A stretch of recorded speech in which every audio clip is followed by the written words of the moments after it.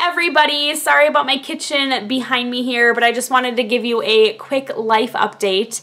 Uh, if you haven't seen the video that I posted a little while ago, um, Teddy proposed. We are engaged uh, crazy. Um, go back and check out that video if you haven't already. He proposed at the Como Zoo, um, overlooking this beautiful pond, this gazebo, and he got down on one knee, and oh, it was so romantic. One of the best days of my life so far, and I'm so excited and happy for what the future holds. But now the wedding planning begins. So just a quick update on the wedding front here, I guess. Um, I'm going to continue making vlogs like this as well, kind of our wedding planning process. So, so far we have our venue and our date chosen.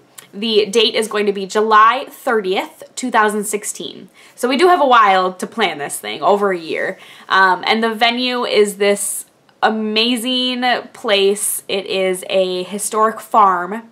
It's a huge barn, like an 8,000 square foot big white barn uh, in one of the suburbs of the Twin Cities here.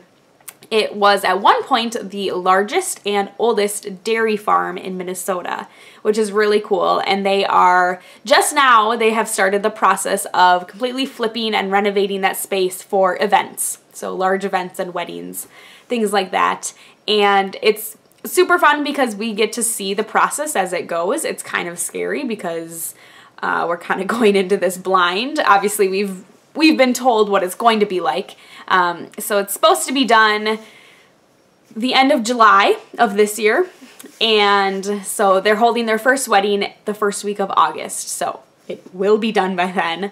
Uh, but they have just put on an amazing addition onto the barn with a bridal suite and a groom suite and, um, you know, bathrooms, running bathrooms. That was one of the things, I toured a couple different venues and I toured a different farm and you needed to like rent porta potties and things, no running water, things like that. So that was that was kind of a turnoff. So this place does have working bathrooms with running water, which is awesome and they have this great outdoor space for the ceremony. Hmm, knock on wood that the weather is decent to have it outside um, underneath these huge trees and they've got gorgeous green space to have lawn games and one of my favorite parts is that we are going to have a pig roast. Oh my gosh, so cool. So yeah, the feeling that we're kind of going for obviously with this whole farm barn is kind of rustic, shabby chic, if you will.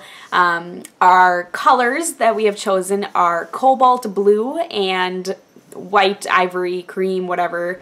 Um, all those different shades is I'm fine with. But yeah, over the past year or so, I've been collecting blue glass. So like the, that deep, dark cobalt blue. So those are going to be our centerpieces with baby's breath and, you know, burlap and twine and you know, you get the picture. Rustic, shabby chic, birch bark, things like that.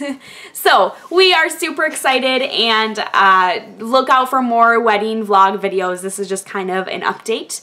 And our next step is probably researching a photographer because I'd like to have the same photographer for our engagement pictures as the wedding. I know a lot of photographers do packages like that. Um, if you have any recommendations, please let me know for anything wedding. Doesn't have to be just a photographer, but anything wedding. I would love to hear your advice and opinions. And I am so excited. So be tuned for more wedding vlogs. Bye guys!